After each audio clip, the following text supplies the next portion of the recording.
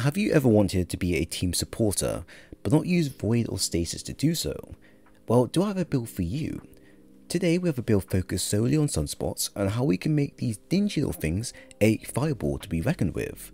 There are many ways to build around sunspots, and one popular way was to use Loreley Splendor and have a high resilience and discipline stat, which would then lead to you getting a fast ability energy back and spending it on creating elemental wells.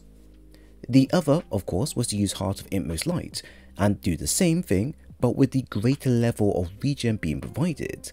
These are all okay, but their support views are quite limited with other players. However, there was a third option that does really well with Sunspots, and that's Phoenix Cradle, with its very strong ability to enhance regen speed and provide restoration while on the go.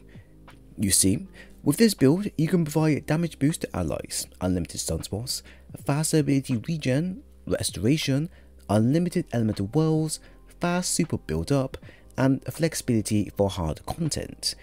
This here is aimed for those who love to support and chill with those who need it most. Now if you're one of those people, then grab a pen and paper, take some notes, as I will show you what you need to do to become a ultimate team healer. But like always, if you enjoyed the video then do leave a like, a sub and turn on notifications for more stuff like this in the future as it goes a long way for me. Let's start with the main basics of the class. We have two ways of building this setup. We can either focus solely into thrown hammers which will give us unlimited sunspots and kills, or we can rely on grenades with their high damage and safe usage. Both methods are good if you want to play a casual experience or endgame experience, depending on what you value the most. For the sake of today's build though, we will aim for a bit of both, as this will allow you to use it wherever you go, and not have to worry about having a core weakness appearing all the time. Now the best way to achieve a melee and grenade setup is to use the following, which I believe is the best to operate with. We have Sol Invictus where solar final blows and scorched targets create sunspots. Standing in them will improve your ability regen, give restoration, and slow down super drain. We then have Roaring Flames which increases our solar ability's damage up to times 3 stacks. It also allows our uncharged melee attack to deal solar and scorch.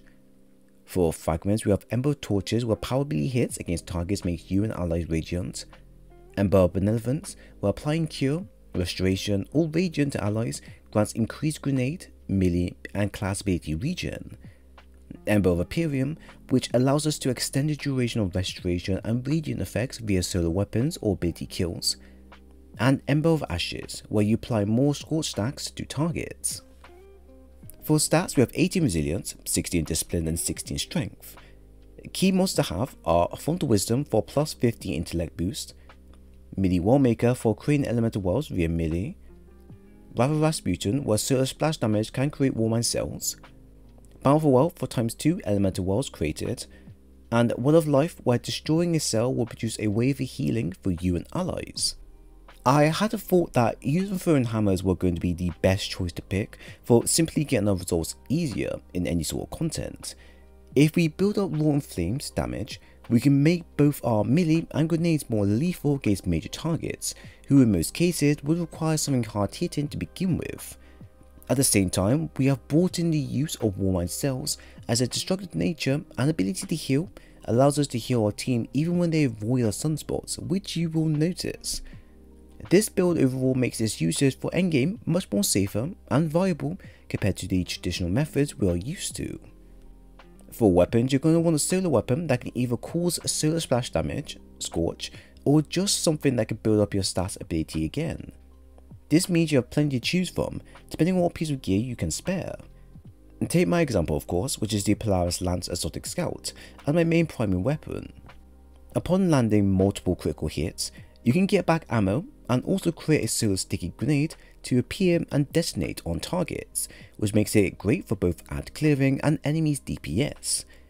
If you manage to get the weapon's catalyst complete, then you can also get the Firefly ability to proc, which gives you a even easier time to create cells upon multi kills. Although I do have a heavy machine gun that can make cells on fly, having the option to create them at a safe distance with fantastic weapons such as this makes the build very strong for endgame. Of course, as the incandescent perk is now a thing, you can save your exotic slot for something else if you wish. Or better off, Sky Burners is a really great weapon to use now that can create sunspots even more easier. For heavy, we have the 7th Seraph Saw heavy machine gun with auto-loading and Vorpal, and this will be helpful for arc shields, bosses, and creating one-man cells on the go. I believe this role will be handy for the build when things get hectic, and you don't have time to keep swapping in and out and reloading your weapon all the time. With this combo, you could do a quick burst damage, stack it away, use something else, and then repeat as many times as you like. This will overall increase yours and your team's damage by quite a margin once you include your abilities in the mix, and from there you can easily supply the needed firepower then and there without much hassle. For the stats, as the stats are quite spread out, you do not need to focus heavily into maxing out stats for the best results. You can if you wish, but ultimately this will depend on what you can offer and what you can avoid just in case. If we take a resilience for example at 18, this will be offering us a much higher damage reduction compared to if we had it at 50 instead. Now depending on what you feel, you can siphon off some of the points here and use them elsewhere if you desire, but only if you notice a need to do so. You then also have to remember that we don't have much class ability regen mods on us, except for elemental wells. We do have absolution on hand, and we could add in distribution as well, but only if you feel that the build needs it. To be honest, class ability will passively regen quite fast and without hassle, with elemental wells on hand, so you may be able to get away with reducing it down another level, but still have good damage reduction in return. Discipline and strength are both at 60, which is a good breaking point to aim for.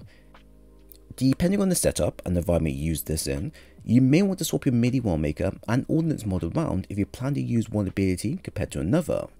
But do not reduce the stat down further as you're still going to be using them both in the same similar fashion. Once again, as we have elemental wells at play, you don't need to worry about adding on additional mods to make both the two key stats viable.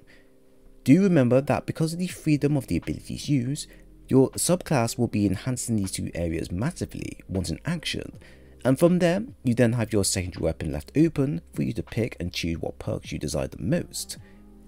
This is a very user-friendly build designed for those who want the bare minimum setup but the best results in game.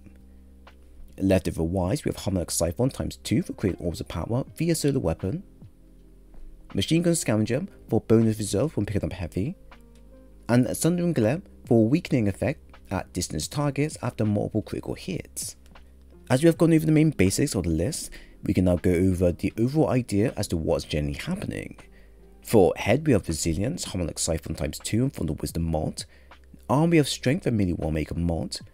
Chest we have intellect, thermal plating, concussive dampener, and Wrath of Rasputin mod. Leg we have strength, Heavy Machine Gun Scavenger, Innervation and Bound for World mod, Mark with Mind Resilience, Sundering Glare, and Fire Team Medic mod. The Phoenix Cradle are a amazing assorted to equip if you ever play Titan Solar and want to support via a different and non-traditional method.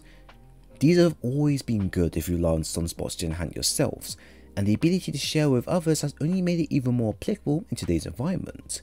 Now, before they were popular, I remember many players used to say that they weren't worth the investments since there were better options of healing to go with, aka Well or Healing Rift Warlock. And while true, Warlocks do provide a good subclass support, Titans and Hunters can also be a good team support as well through their abilities and exotics. No more relying on just one class being the best support around, we now have room to explore the many opportunities that build crafters can cater to. So what exactly makes this build so special? Well, firstly, sunspots are extended for you, so you can stay in them for longer and keep them going constantly while healing and giving you ability buffs. You then have wells and orbs of powers that can be produced a lot more than normal thanks to the fast ability and weapon gains involved. And then you have the Warmind cells with one allowing you to create them via solar splash damage of any sorts, and another creating a wave of healing for all near it. And then on top of that, you also get longer lasting super and also constant damage buffs galore. Overall, you get a build that pumps out healing and ability regen non-stop for all users and keeps the flow of fighting going. But that's not all, the build can also achieve a times 2 restoration effect, which is something quite rare to see considering that Elite Titans used to be the best to offer this skill. After the nerf to the following exotic, a new alternative arrived, and thus Phoenix Cradle became quite popular overnight. If you want the restoration times 2 effect again, then this is probably the best way forward for it, and not only that, this could be useful for when creating a wide number of sunspots on demand there and then. The only issue with the setup is that relying on the thrown hammers for this in Grandmasters is not really possible. Your best bet is to use this build in Master and below, but if you plan to use it in GMs, then that's fine to do so, as you would just need to swap up the grenades being used, and also change up your weapons here and there, especially ones that can have incandescent built into it. But however you preserve it, the build allows players to utilize sunspots the way they should rightfully should be used, by sharing with others and keeping them well supported. So if you enjoyed the video, then please leave a like, a sub and a share, and also follow me on Twitter to keep up to date with Destiny content if you dig that type of stuff, link is down below. Once again, thanks for stopping by, stay safe, and I'll see you on the next one.